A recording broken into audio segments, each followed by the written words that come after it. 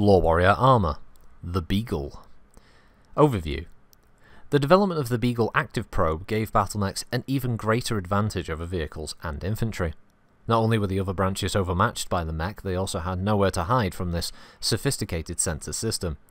In 2666, the Starleague Quartermaster Command authorised a contract with Numal Armoured Vehicles for a construction of the Beagle Hover Scout.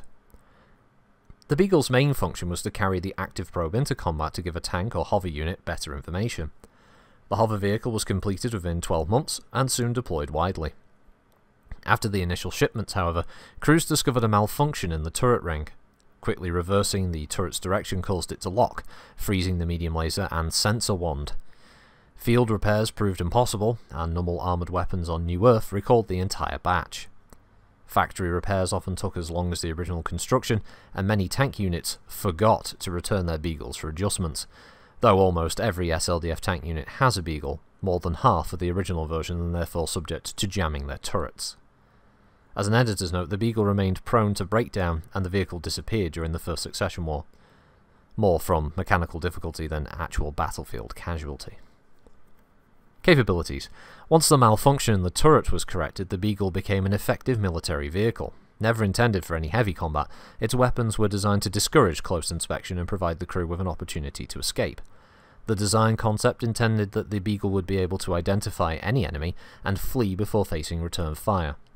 In practice, however, a Beagle must often weather a sustained barrage after closing to gather information about the enemy. Though the Beagle carries three and one half tons of ferrofibrous plating, the armour provides only partial protection.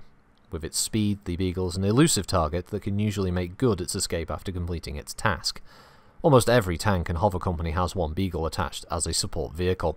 A directional wand housed in the turret carries the sensors for the active probe. The Abadovi Mark II medium lasers that links directly to the active probe is noted for its accuracy. The Beagle mounts a Exostar 2C small laser to deal with any closing infantry. There we go with the outro uh, thing. Uh, it's uh, me again. it's me at the end of the LoreWarriors. I'm enjoying these. I'm doing all these in one day. 15 tons. Made by a power plant of a Nissan 95. There we go. Good old Japanese engineering there. Yeah, uh, interesting. Uh, it actually looks more like a like a full-on combat tank. You see the artwork there. Uh, but uh, obviously it really wasn't. Uh, it had uh, a whole 15 points of armour on the front, which as soon as you went through that, boom, internal, dead. And you can imagine that's only three medium laser hits to the front. That's it, tank taken out. You know, most mechs have at least three medium lasers. And hell, if you hit it in the back, two medium lasers, it's dead. AC-10, boom, straight through. That's all you need. But again, it's pretty fast, 12 and 8, uh, which is nearly 200 kph if it's flat out, 130 if it's cruising. So uh, yeah, one medium, one small laser. You see, a lot of these tanks would be really useful in games like Living Legends, even or um, or MWO, if I ever bothered with it. Yeah, look, look, role warfare. See this, this, this beagle here, role warfare, right there. Oh well. See you next time. Bye bye.